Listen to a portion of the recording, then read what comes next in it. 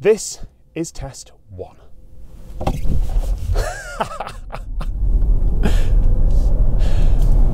The Catesby Tunnel in Northamptonshire, England, used to be for trains. It was built by the Victorians in 1897 but fell into disrepair after the line that went through it was closed in the 60s. It was abandoned for many years, but now it's a vehicle testing facility. You know, a wind tunnel? This is a more realistic version of that where the air isn't moving, but the car definitely is.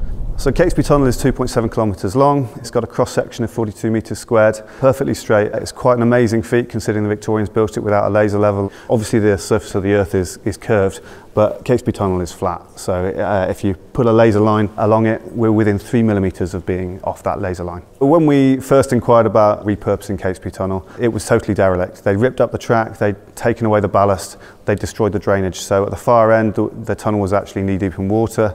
There were no facilities or utilities here. There were bats living within the tunnel that we had to uh, tread carefully around. So at the far end of the tunnel, they've actually got their own bat hotel. When we test outside, we've got the wind, we've got the rain, we've got other vehicles, we've got lumps and bumps in the road. We want to remove those and make as controlled a condition as possible so that the test is only seeing the changes that we're looking for. We're doing a coast down test here. Julian got the car up to 130 kilometres an hour very quickly, and then he took his foot off the accelerator and just let it coast in neutral. This tunnel's long enough that there'll be a couple of minutes before he has to touch the brakes. From that, you can work out the drag and friction forces, which is really useful data for car manufacturers. Because Catesby Tunnel is a bit different to a normal wind tunnel, we have to collect data on board. We can't use GPS because we can't see the satellites in the sky. The approach that we've come to is an image-based system. There's 1,200 tags now in the tunnels and they are five metres apart. And they've been surveyed to within a few millimetres each position and then we measure the time it takes to go between each tag and that's picked up by this high-speed camera that's working 100 times a second and that gives us a very high accuracy for speed of about a hundredth of a kilometre an hour. The tunnel is a fantastic place for this kind of measurement because there is no extraneous sunlight and sunlight is very difficult to cope with when you're working with infrared.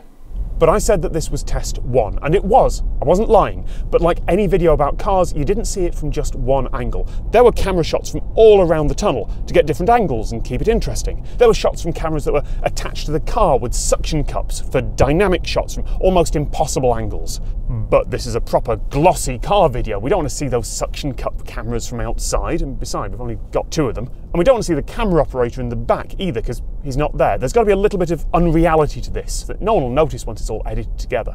So when I said this is test one, that is actually true. This right now is test one, but the shots from outside, we haven't filmed them yet. We're going to have to go back and forth in this tunnel 15, 20 times before we've got every angle we need to make this look interesting.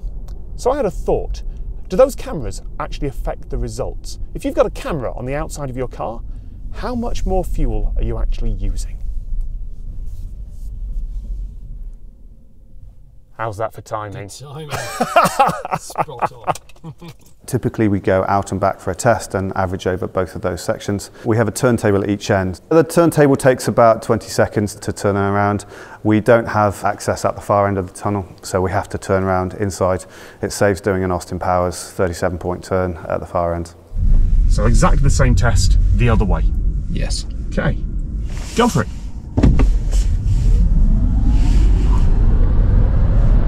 In order to get the best accuracy, the driver has to be very consistent and he has to do the same thing time after time.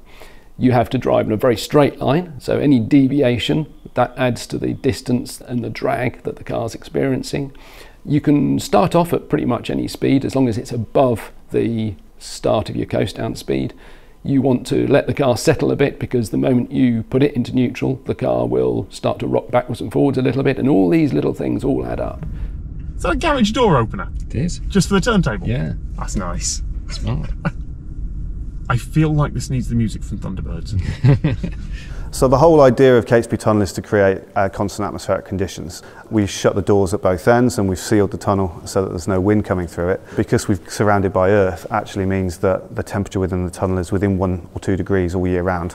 We had the Aston Martin Valkyrie in the tunnel. We've had cyclists in here doing drafting, which is fairly unique, something that you can't do in other places. One of the biggest issues is, is what happens if there's an accident in the tunnel and how do we get to them. So throughout every test, we have a fire safety team on site. They're there to respond if there is an accident. There is a very slight gradient to this tunnel, and while I'm sure some of the marketing team would be very happy if it was perfectly flat, turns out there is a little bit of an advantage to that gradient because drag increases with the square of speed, but friction increases linearly. So if you have one test going very slightly downhill and one test going very slightly uphill, in theory, you can separate those two factors out from each other with a lot of maths that I do not understand. The Catesby Tunnel surface is an asphalt surface, typical of a, an A road that you would see outside, but just finished to as high tolerance as we can get. I do like how you, you stick to one side of the tunnel like it's a two way road. It just seems wrong barreling that fast down the centre of a road. Yeah. And also for consistency, for the aerodynamic wake. uh, Oh, of course, it'll be different depending Yes. on where you are Yeah. in the tunnel. Yeah.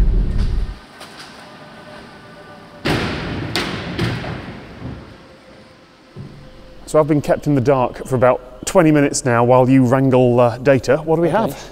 Well, this is an example of one of the coast down tests. The dark blue line is the speed. Yep. So that's us accelerating rapidly up to Yep. 130, then pop it into neutral and then coast down to about 40. And then brake so you don't hit the barrels. And then brake so you don't hit the barrels. So we had like four or five runs with a clean car. Yeah. We had five, six runs with the GoPros in varying configurations. So we've got some sort of drag from some sort of camera. Yes, right. exactly. And you can see from 130 to 120 Yep. kilometres an hour, it took 7.04 that time and 7.03 that time. So a hundredth of a That's so second difference. You just wou- you just wouldn't get that outside. Yeah. It's just wouldn't wouldn't happen. And then with the GoPros on, from 130 to 120 to 6.98 and 6.97 again. Hundredth of a second difference, Yep. Incredible. But there is a very noticeable difference between having a clean car and when you've got the GoPros on the outside. It's measuring just a small difference of about 0.8% between the two. And does that map to fuel usage? Yes. And this is not the most scientific test. We did a couple runs, the GoPros are all over the place, but there is enough drag from them that you can measure it in there, Yes. and there would be some effect on fuel. Yes. Now, of course, we were using the ideal car for this test because the weight doesn't change from test to test. Whereas in a fossil fuel car, Yeah. of course, you've got to make sure that you don't let that tank go too empty. And there's lots of things you have to take into account. Yeah. So there's roughly 0.8% more drag on the car from sticking a couple of GoPros somewhere. Yes, absolutely. It's the closest I've got to science in a long time. Thank you very much. No problem. Thank you.